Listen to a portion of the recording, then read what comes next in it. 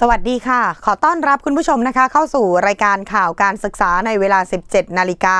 คุณผู้ชมอยู่กับดิฉันดารณีโตรื่นค่ะ คุณผู้ชมคะเราจะเริ่มกันที่ ดรกนกวันวิลาวัน รัฐมนตรีช่วยว่าการกระทรวงศึกษาธิการ ท่านได้เป็นประธานในพิธีปิด พร้อมให้โอวาท การสัมมนาถอดบทเรียน การจัดอบรมแบบออนไลน์ค่ะ ในหลักสูตรการจัดกิจกรรมกศนป้องกันภาวะซึมเศร้า คงสมรรถนะทางกายจิตและสมองของผู้สูงอายุ ณโรงแรมปลิ้นพาเลตมหานาคกรุงเทพมหานครค่ะ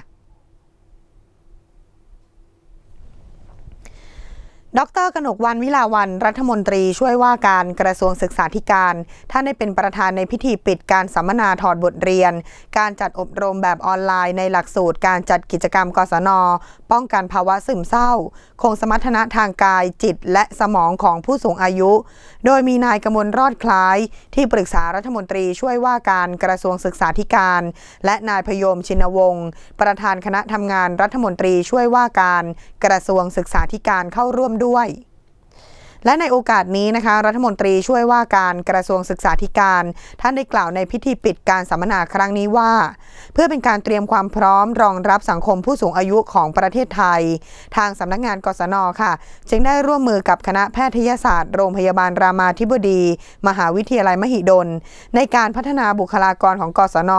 ที่ถือเป็นนกลไกสำคัญในการเผยแพร่ความรู้ และสร้างเครือข่ายเพิ่มเติม ที่จะทำให้งานของกศนเข้าถึงประชาชนในอีกรูปแบบหนึ่งซึ่งถือเป็นการเตรียมความพร้อมนะคะให้กับประชาชนทุกช่วงวัย ทั้งนี้รัฐมนตรีช่วยว่าการกระทรวงศึกษาธิการ ท่านกล่าวเพิ่มเติมว่า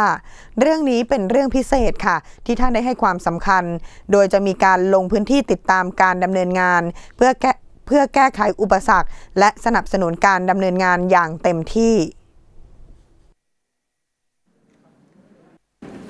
ยิ้มได้นะคะ ถึงแม้จะอยู่ภายใต้ เป็นการอบรมที่มีความร่วมมือด้วยกันนะคะ ทั้งกศน และก็โรงพยาบาลรามาธิบดีนะคะคณะแพทยศาสตร์ เพื่อที่จะนำเข้าสู่สังคมสู่สุขภาวะ โดยกลไกในพื้นที่ได้อาศัยครูกศน หรือคนกศนยุที่อยู่ในทุกพื้นที่ทั่วประเทศไทย โครงการนี้เนี่ยต้องถือว่านำร่องยังไม่ครบทั้งประเทศ นะคะแต่ในช่วงภาวะโควิดไม่สามารถที่จะทำให้จัดการอบรม Face to Face ได้ ก็เลยต้องใช้วิธีเป็นการอบรมแบบออนไลน์ แล้วในโอกาส2องสวันที่ผ่านมาเนี่ยทำให้ผู้ที่เข้ารับการอบรมที่ยังไม่เคยได้เจอกันนะคะก็ได้มารวมกันแล้วก็มีกระบวนการการพัฒนาตามตามแนวทางที่ถูกต้องในด้านของการดำเนินการโดยโรงพยาบาลรามาธิบดี ซึ่งเป็นผู้เชี่ยวชาญ คณะแพทยศาสตร์เชี่ยวชาญในเรื่องของออสังคมสุขภาวะ ที่จะทำยังไงที่จะป้องกันไม่ให้เกิดสมองเสื่อม แล้วมิติตรงนี้ครูกศนก็จะไปอยู่ในพื้นที่ แล้วก็จะให้ความความรู้เราเน้นในเรื่องของการป้องกัน ด้วยไม่ใช่ว่าจะไปแก้ปัญหาอย่างเดียว การป้องกันนะเป็นสิ่งที่สำคัญที่จะทำยังไงที่จะชะลอที่จะทำให้สมองไม่เสื่อม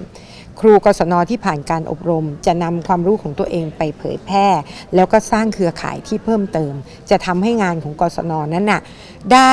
เข้าถึงประชาชนในอีกรูปแบบหนึ่ง ซึ่งเพิ่มเติมจากงานที่เราทำอยู่ ซึ่งเป็นการเตรียมความพร้อมให้ครบกับการเรียนรู้ทุกช่วงวัย